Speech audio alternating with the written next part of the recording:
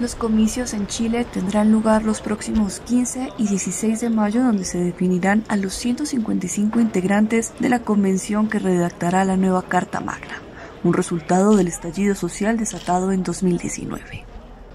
Estas elecciones estarán marcadas por la evidente participación de las candidaturas independientes para entrar en la constituyente. Algunos expertos incluso dan cuenta de que los independientes pueden sepultar en estas elecciones a la figura tradicional y abrir paso a una nueva forma de representatividad con mucha más presencia activa y directa de la gente. Por el contrario, otros expertos vaticinan una gran derrota para los independientes debido al apoyo disperso.